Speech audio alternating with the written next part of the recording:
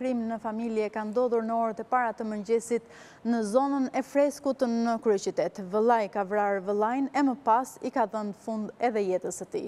Për më tepër detaje kam në një lidhje në këtë mëngjes pikërisht kolegun Edison Vatnikaj. Edison, mirëmëngjes. Cila në fakt është e gjithë ngjarja që ka ndodhur, cili është shkaku i kësaj ngjarje? Lili, të përshëndes edhe unë. Në fakt, në rrethana ende të paqarta, ka pasur një konflikt mes vëllezërve, pikërisht mes dy vëllezërve Cani, ku si pasojë është përdorur arma zjarri dhe për pasojë të dy kanë humbur jetën.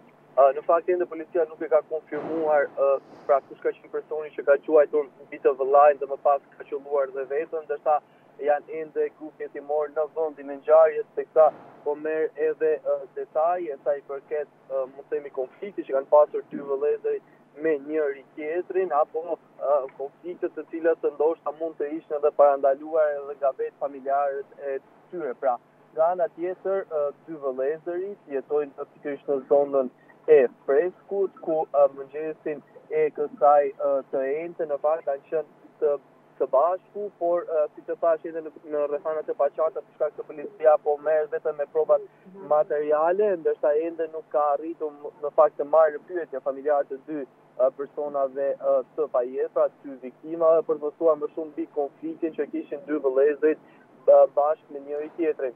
Sigurisht në këto kushte ende hetuesit po verifikojnë pistat për sa i përket cili ka qenë konflikti i mundshëm që ka provokuar këtë situatë të rëndë, ndërsa pasi edhe pak para disa momenteve kemi mbërritur në vendin e ngjarjes aty ku po verifikojnë në fakt të gjithë policia e shtetit ku besohet në fakt që jetojnë në një pallat e ndërkohë me ndihmën edhe të operatorit Fredi Shkoza do mundohem të sjellim edhe pamjet Meta nga vendi i ngjarjes. Edison, teksa jemi në këtë transmetim ku ende nuk jemi ndoshta të mirë informuar, dua të të pyes ngjarja ka ndodhur brenda banesës?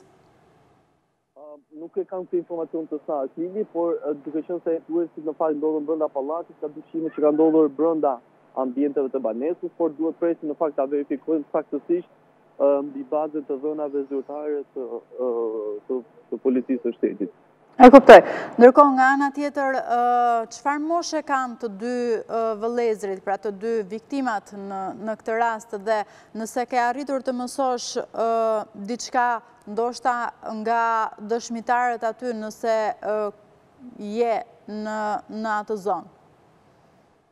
Në fakt, ende ja sapo kam mbërritur në zonë, por duhet të presim në fakt verifikimet dhe konkluzionet e fundimtare të policisë së shtetit për shkak se është ende herët për të folur mbi këtë krim në marrje në dijeni të kësaj ngjarje, pra të këtij rasti, do të ketë do kemi edhe sigurisht lidhje të tjera të cilat do mund të komentojmë dhe mund të flasim më gjerësisht mbi këto mbi këtë ngjarje të rëndë.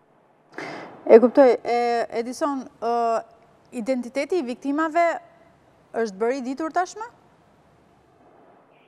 Po, në fakt është bërë i ditur, bëhet fjalë për dy vëllezërit, L. Tani dhe V. Tani, për shkak se janë ende emra për cilën do t'i konfirmoj zyrtarisht, në fakt janë të identifikueshëm, por dhe vetë policia i ka sjellë me iniciale, por do të kemi njoftim në fakt për sa i përket Edhe do të kemi në fakt edhe për disa, mund të themi, komente mbi ngjarjen e ndodhur. Paraprakisht dyshohet në fakt që janë dy vëllezër të cilët janë me origjinë nga zona e Dibrës, pra në rrethin e Bulqizës dhe dyshohet që janë pikërisht për shkak të disa pronave që kanë në zonën e Bulqizës e ka ndodhur dhe konflikti që ka sjellë edhe dy të vdekur.